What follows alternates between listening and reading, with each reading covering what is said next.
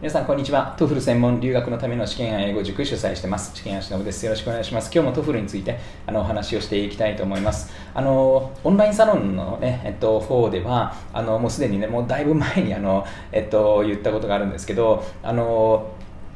えっと、本がですね、あの、えっと、こういうなんか、えーと、日本英語で言いたい日本語の慣用表現とかいうね。あのこういう本がこの本がちょうど出た頃にちょうどあのこんなのがありますよっていうあのご紹介をねちょっとオンラインサロンの方ではしたんですね。でその時にねちょこっと言ったことにちょっとあの、えーと、踏まえてちょっとあの 付け足して、えーと、補足して、えー、と言っとこうかなと思ってます。であのあのああいった本ねあの昔だと例えばあの国広正夫さんとかね松本道弘さんとかねそういうなんかこういう英語はこのように表現すると切れますよみたいな切れますよいい意味でね。あの、えっと、こんなふうに、えー、こんな英語の表現ができますよとかね。あのいうのがこう結構出ててねあの私も当然読みました。であのあこうこういうふうにするのかみたいなねことを学んでいくんですけどまああの最新のねやつね。あの当時の日本語にはない日本語も今あるじゃないですか。ね。あの映えるとかいろいろあのそういういうの配慮あったかな。なんかそういうねあのなんかあのものもこう入れたような、えっと、そういうなんかあの、まあ、現代風になアレンジされたものになっていますね。でねあのこういう感じのあの表現集ですよね。あのこれをあのややるときにあの2つほどあの注意しておいたらいいんじゃないかな。と特に TOEFL受験するような人はねあの注意しておいた方がいいんじゃないかなっていうのがあってですね。で1つはですねあのこの表現この日本語は英語でこうなりますとかいう感じでこう、ね、あの提示されてているんですけどもちろんこうそのどんな風に会話で使われるかとかねあの、まあ、一つのセンテンスとして出てくるんですけどやっぱりこれあの他の単語集とかねそういうのともう同じであのこの英この日本語がこの英語になるとかそこ自体がねはあまりいらない。あまりいらないんですね。あのむしろねそのそのセンテンスとか会話で他のも出てるじゃないですか。ね。うわここ「in」使うんだとか逆にねあのそういうのをものすごくこう意識しとくといいですよ。だってこれぐらいの会話っていうのはあのこれぐらいの短いセンテンスっていうのはやっぱ勉強しやすいですよね。だからそういうしやすい中であの意識的に細かいところを拾っていく。あの TOEFLの長文あの、ね、リーディングパッセージとかであの拾っていくのってなかなか難しいでしょ。だからこれぐらいこれぐらいしかないんであのそこからだったらこう意識的に拾えていくでしょ。これれ結構意外といいとこなんですよ。だからあのじゃもう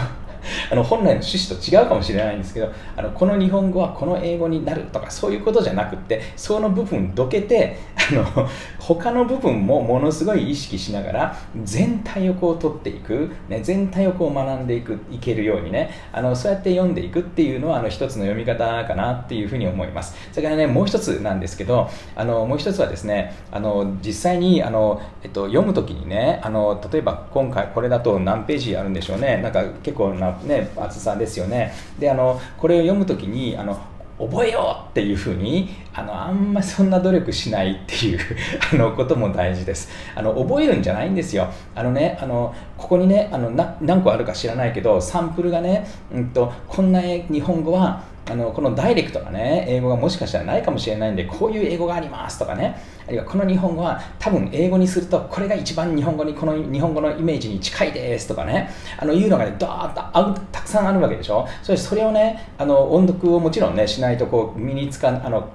皮膚肌感覚っていうかあの実際に喋った感覚がね身につかないと思うんで音読しながらね読んでいくんですけどあのねそれをねあのなんていうの記憶しないでもう普通に読むだけ。でねあのこんな感じかこんな感じかこんな感じか。要するにこういう感じだなっていうこの上積み取っていくんですね。あのもう言ってること分かんないかもしれないけどごめんなさい。あの、えっと、要するにこの学ぼうとしないことで記憶しようなんてしないことです。あの記憶しようとしてもねもしかしたらねシチュエーション変わってまたは10年後に使うことになってその今の使ってる日本語はちょっと微妙な意味で別の意味で使われることもあったりとかする。その時にはじゃあこの英語は使えないですよね。であのまた新しい日本語ももうねあのもう日々出てくる。となった時に英語にこうあのダイレクトにこう1対1で対応するものがない。という時にこのような感じで英語で表現すればいいんだなみたいなのがこうあのピックアップできてねあのなんとなくこう上積みをねあの救う感じでできるといいなとちょっと思っています。あのだから漢字をあの掴むっていうね。なんかうまく言えないんですけどね。だから具体的にこう勉強するっていうのじゃなくって、まあ、勉強もするんですけどあのこっちのいや勉強するっていうことじゃないんですよねみたいな。なんかこのちょっとねアウフヘーベン的な あのなんか上積みをすくって漢字を身につけるっていうのができるんですねこういう本だとね。あのでそのためにはやっぱりあのじーっとじーっと見ているっていうんじゃなくってやっぱりこう音読をしながらだからもうあの音読教材っていうかあの音読を楽しみながらこうずっと単に読んでいくだけ、ね、あの結果的に何が残ったかはそれはもう気にしない。いこれこの英語なんて言うんあこの日本語は何て言うんですか？この英語です。そういうの全然もう気にしないでいいんです。そういうのじゃなくってなんか読んだ感じこういうなんか感じが残りました。でいいんです。なんとなく感じが残ります。でこの感じを掴んだことで英語が一歩あの上に上がったっていうね。あのそういうことになります。だからね TOEFLをあの例えばねやってる人であのこれを読んでね例えば TOEFLのスピーキングでこれ使ってやろうとかね。あのそういうことじゃないんですよ。あのそういうことじゃなくって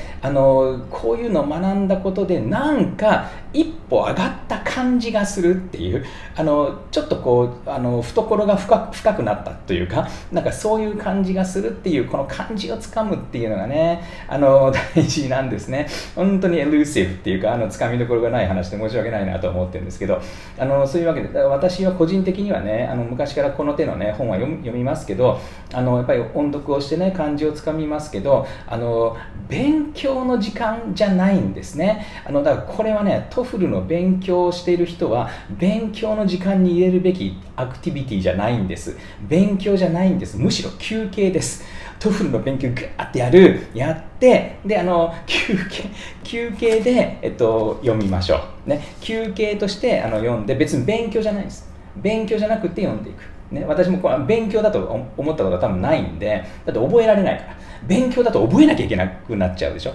勉強じゃないんで覚えなくていいんで。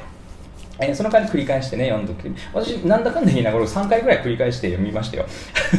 あのね、えっと、3回ぐらい繰り返して読むと、多少ね、あの、なんとなくこう、インパクトがちょっとあるっていう感じですよね。あの、ただテストされてもできないです。あの、この日本語なんて言うんですか？え、いや、その日本語なんて書いてたか忘れましたみたいな感じなんで、ただあの、えっと、自分でや言えって言われたら、まあ、こんな感じにはすると思いますけど、みたいな、あの、そういうのがこう、だんだんね、分かってくるといいかなっていう感じなんですね。だから、あの英語これ全般的にね言えると思うんですけどあのこのこれをやるとねこの教材をやるとこれができるようになるとかそういうねもうダイレクトな因果関係ってのはあんまないです。